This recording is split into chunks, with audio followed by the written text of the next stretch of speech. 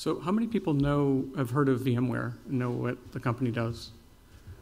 Uh, relatively few. So, it's not surprising to me. So, uh, VMware is the actually the market leader in virtualization and cloud software for the enterprise.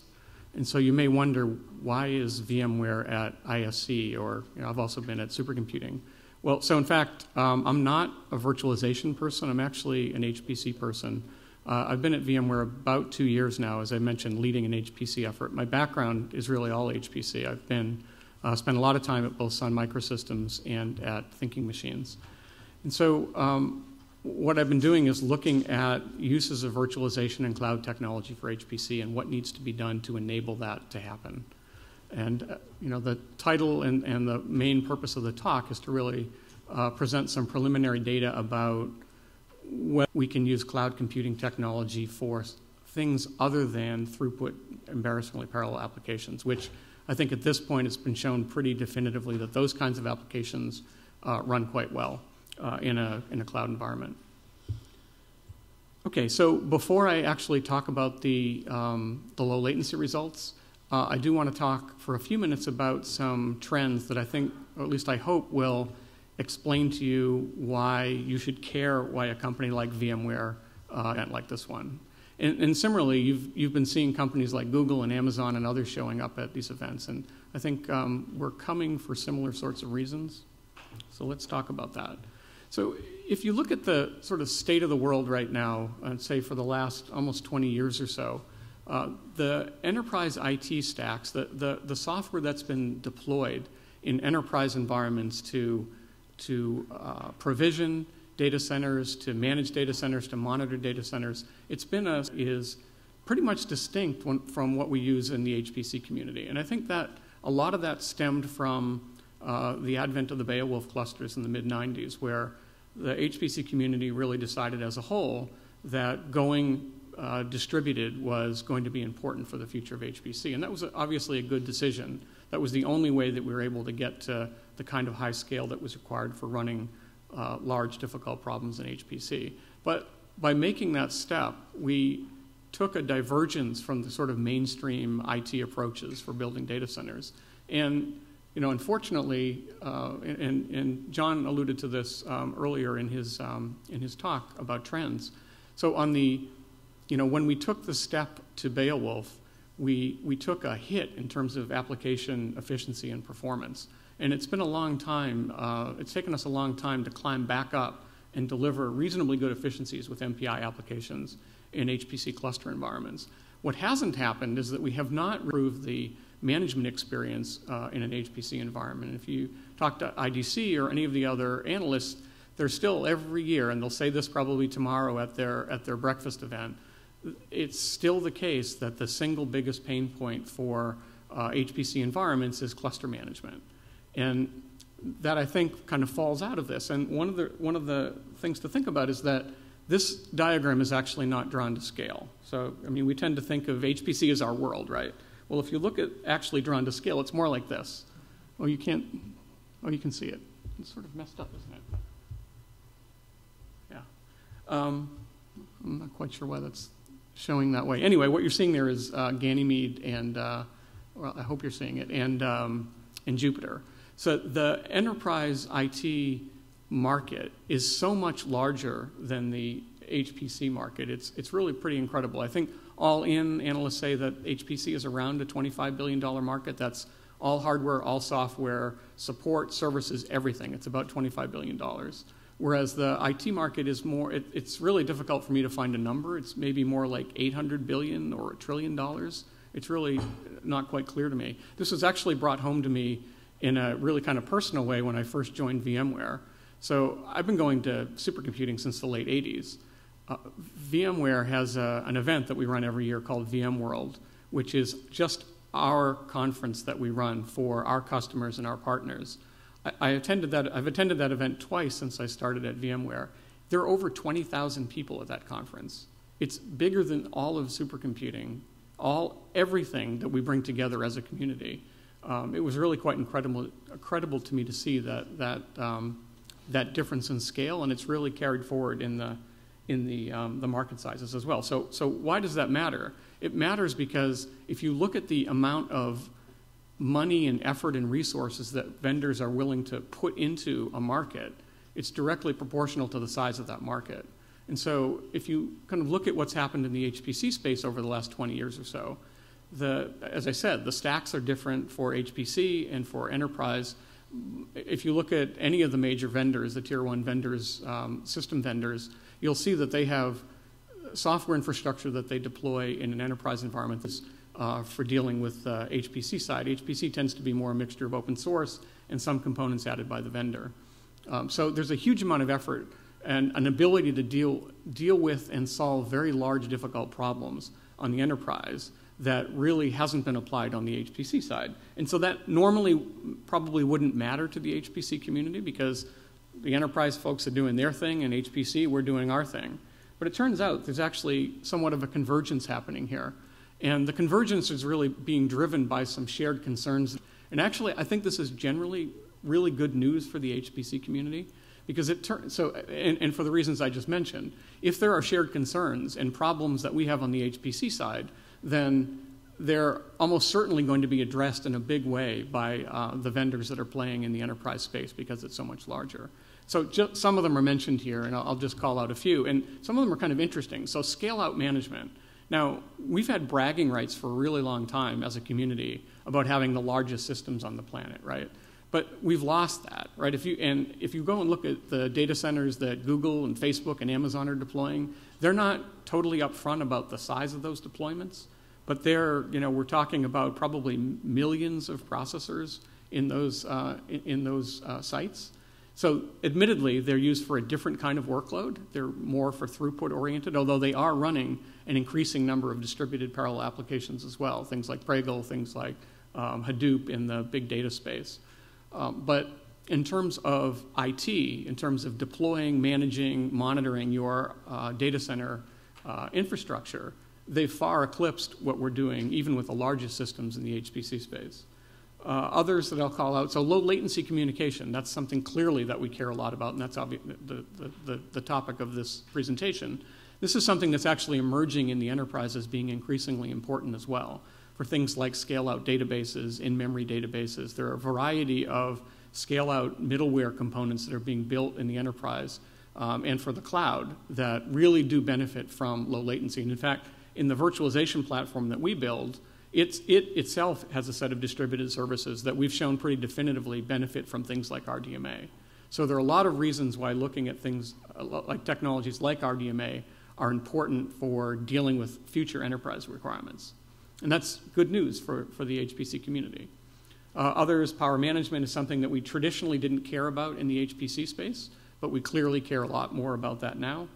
Uh, application parallelism and resiliency are both things that we've traditionally cared a lot about. Well, we've cared about parallelism on the HPC side. We haven't cared too much about resiliency, and it's been the flip for enterprise. Uh, they've paid a lot of attention to resiliency with most of the models that they've built, and uh, not too much attention to parallelism. But multi core processors are really driving the enterprise people to start looking at parallelism as well. So this all combines, to, I think, to create um, a good thing, potentially a good thing for the HPC community if we can figure out ways to leverage what's being done in the, in the mainstream um, enterprise IT space. Now, with respect to cloud, just to sort of drive that home a little bit, so Forrester um, estimates that the cloud market is going to be about $241 billion by 2020. So the question is, what cloud are they talking about, right? Are they talking about HPC cloud or what? Well, I think the answer should be obvious now. It's whatever the 800 pound gorilla wants it to be, right? So enterprise IT is going to drive the requirements for what a cloud looks like. But one of the reasons I joined VMware was to really work to influence the company in a direction that makes it more HPC friendly. So from my side, I'm pushing that. Again, this convergence of requirements makes that a lot easier to do.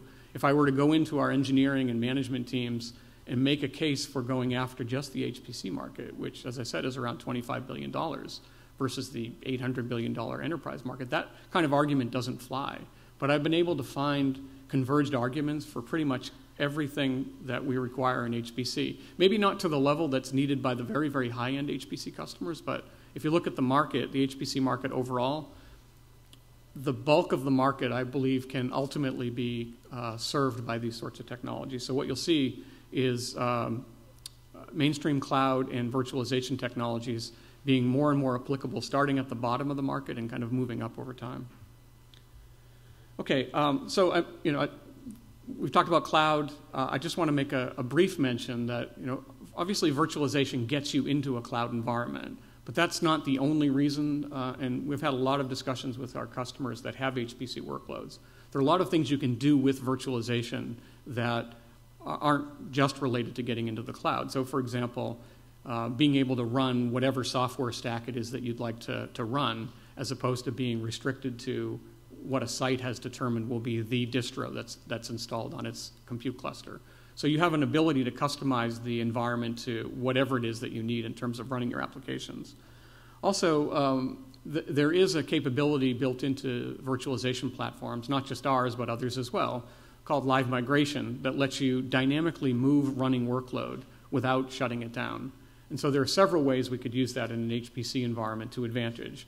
Things like bin packing. So rather than placing workload and then having it sit there until it either finishes or you kill it or, or it dies, the ability to actually dynamically move workload around in a large environment like a cloud environment um, is important for getting higher use, higher efficiency uh, use of your, uh, of your underlying resources. We can also do things like power management and um, preventative maintenance, for example, using those capabilities. Uh, there's also the, the concept of workload isolation, the fact that you're putting your workloads in virtual machines that then allow you to have some degree of security and fault isolation between your workloads, which often turns out to be important, rather than sharing single OS instances.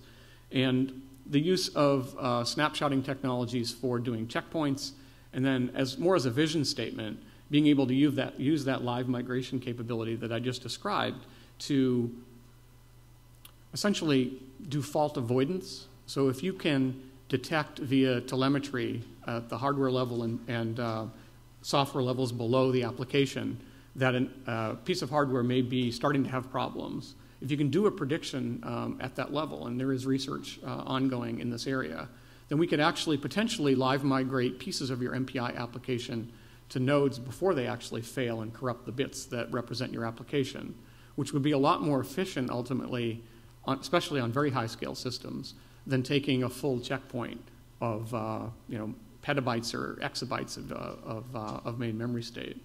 So there, uh, I just mentioned this briefly that there are uh, several use cases um, that seem pretty compelling for using virtualization for HPC.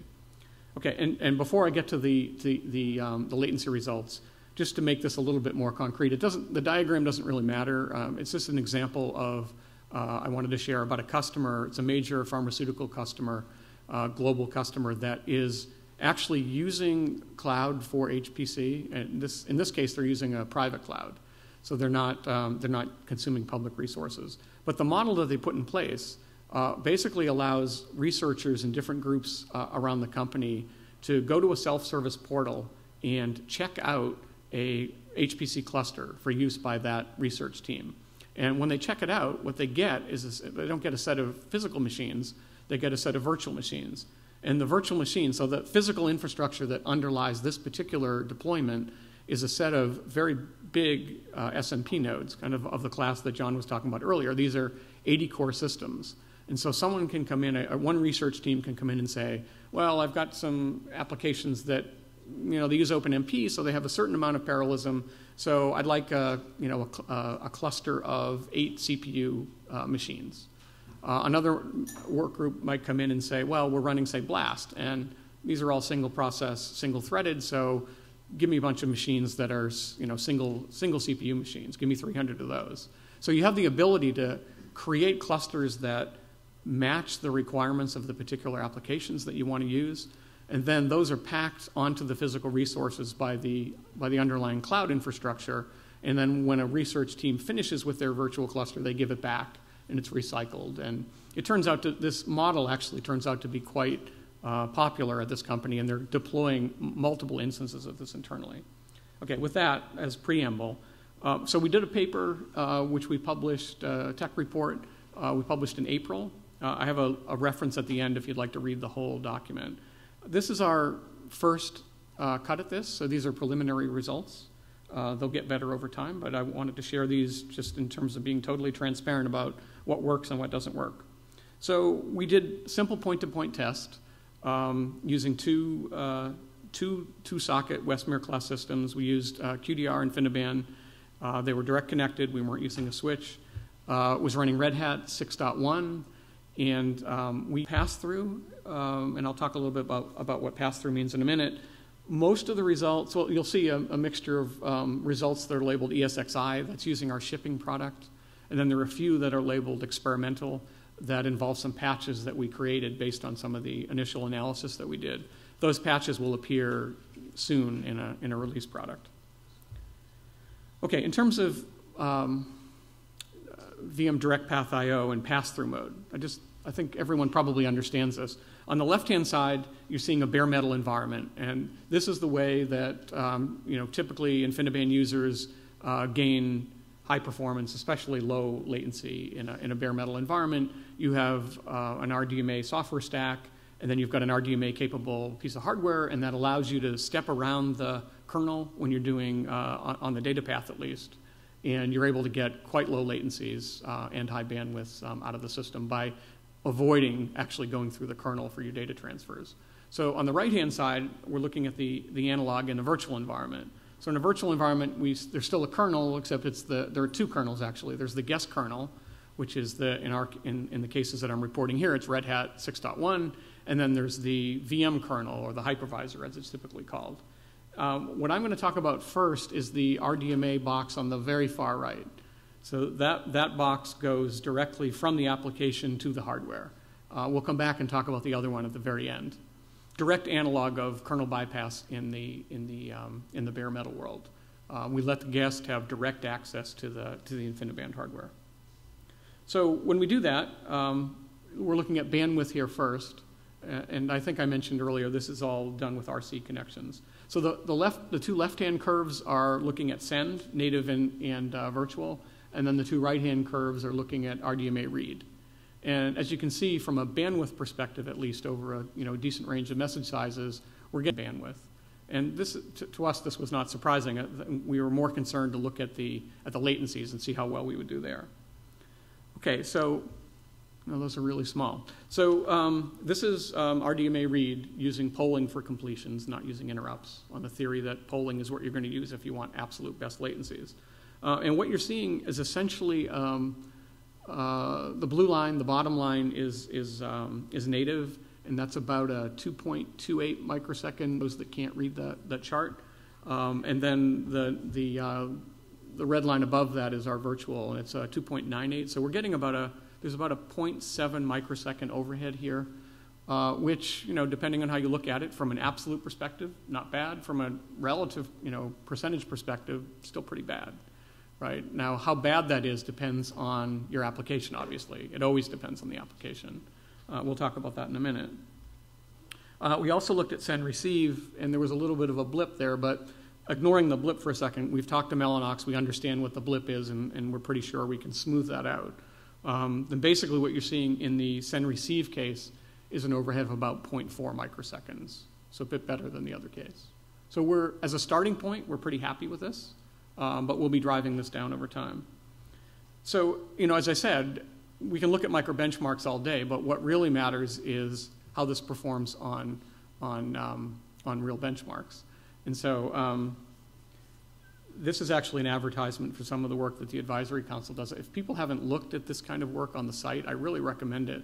There are a whole bunch of really, really useful use cases that were done, analyses that were done, looking at different um, HPC ISV applications and really doing a detailed analysis of what their messaging requirements are, what their inter interconnect requirements are, et cetera. Uh, this one is looking at Fluent, and um, again, probably hard to read. Uh, the net net of this is that uh, Fluent exchanges a lot of different message sizes in a typical run. Are, this is looking on the left and the right at two different simulations. Um, it's a log plot on the, um, on the vertical axis, there are a lot of small messages exchanged here. This is mostly um, collective operations. And then there are a very large range of message sizes uh, for doing the point-to-point -point data transfers. Uh, so obviously why this matters, right? So going back and looking at how we're doing in our performance, the collectives are going to fall into an area where, uh, you know, 0.4 microsecond overhead, and um, less, there's going to be less of an issue around point to point. Clearly, as you get to large message sizes, it's all about bandwidth and not about latency. So at this point, I have to be really apologetic and say, this is like telling a joke and then forgetting the punchline, because the next slide should show you what our performance is on Fluent, right? Yeah, I don't have that. And so um, the reason I don't have it is that we're working with Intel, and we didn't quite meet the deadline to get it done for ISC. Um, I'll be publishing that. I'll, I'll, give you a pointer to our um, to my blog uh, at the very end of this. We'll be publishing that information there as a sort of consolation prize. Um, I'll give you some sort of related info. Uh, so I would guess. Let me let me back up here. So if I had to guess based on some earlier information that I've seen, I'm going to guess that those fluent runs are going to be about a 10 to 15 percent performance degradation. So whether that's good or bad again depends on who you are. If you've got your own bare metal cluster at home and you're able to run at the scale you want to run at, that's probably unacceptably bad. If you're a user who can't get access to high scale resources and want to rely on a cloud infrastructure, and that's the only way you're going to be able to run your big application, 10 to 15% might not be so bad. Again, you know, and, and that number is going to vary a lot depending on what your particular application is. Clearly, I can generate even worse numbers by looking at things like PARATEC that I think exchange very large numbers of uh, one byte messages. Um, so again, mileage varies. But so as a consolation prize, I will at least present um, some somewhat older information also generated by Intel, and it is dated. Uh, it's dated in the in the ways that the red calls out. The processor's a little bit old. It's using DDR InfiniBand. Uh, from my perspective, it's important to point out that this is using, using vSphere 4, which is one major revision back from where we are right now in terms of um, our, our, software. And it's also using uh, platform Open Cluster uh, version 5, which I believe used Red Hat 5. Red Hat 6, 6.1 runs much, much better in a virtualized environment. So, as an aside, if any of you are experimenting with virtualization, make sure you're using the latest kernels for this. Uh, and this was using HPCC um, 131. So, um, here are the results. Uh, they were run in three different configurations two nodes, four nodes, eight nodes. You can see the, the, um, uh, the legend over on the right hand side. Generally speaking, uh, we're doing pretty well. I mean, we're pretty close to what you're looking at is the ratio here of uh, virtual to native. So 1.0 means we're running uh, at the same speed. Uh, anything higher than that means that we're running slower. So I, I, didn't, there's only one surprise here for me, and I guess I should talk about, um, so random access, uh, we understand what the issue there is. Um, I'll just briefly say it relates to large pages, uh, and it relates to how memory is virtualized. We can make those numbers come right back down to around 1.0. I have no issue with that. We weren't involved when Intel did this measurement, so we weren't able to give them um, the advice that we. I honestly have no idea what's going on with uh, naturally ordered ring bandwidth. Um, that's a wacky one to me. I would have expected maybe a latency. Um, one of the latency uh, measurements would have been off, but uh, we have to look at that one. So you know, it's some evidence that, that things that the HPC community care about can run well in a virtualized environment. Okay, so in terms of next steps, well, obviously we need to run Fluent, and uh, we'll, we'll, we will be reporting on that. Uh, we'll be doing that on vSphere 5.x and um, using QDR InfiniBand. Uh, FDR, probably not this time, but something useful to look at in the future. Uh, we'll continue to drive latency improvements into our own platform. As I mentioned, this is really just the beginning. We wanted to get a sort of level set on where we stand uh, initially. And um, the last thing that I just I wanted to mention quickly, uh, and I promised I would, was that other RDMA pathway, the one that actually goes through VM kernel. Uh, without going into the technical details, this is another project that's running within the office of the CTO at VMware.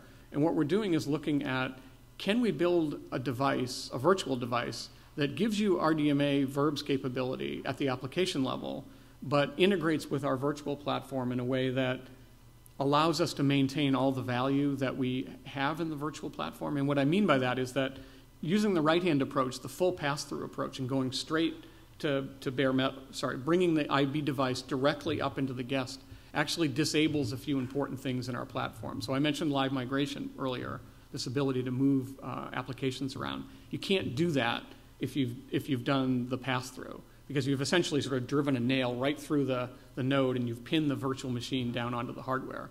Um, and you also cannot do snapshots, which we'd like to use for things like um, checkpointing. So by moving to a virtual RDMA device, we'll re-enable those capabilities. So the question that we want to answer this summer is, when we implement this, what do the latencies look like? Do we have an effect on the data path in terms of latencies, and what is that effect? So we expect that some customers will care about that additional latency, or some customers won't care because they're eager enough to get access to those, um, to the live migration and other capabilities. So we'll be reporting on that, that those experiments um, uh, as well. In terms of references, so the full paper that, that presents the IB results is here. Um, for those that are using virtualization, um, if you're, in, it's important to do uh, tuning for uh, running low latency applications on the platform. So I'd recommend the second link. And then for keeping track of what we're doing, uh, you could take a look at the HPC blog there. The Fluent results will be put there. There's a lot of other information um, that I haven't talked about here today on things like NUMA, all sorts of um, technical details about running different sorts of HPC applications in a virtual environment. So with that, I'm done.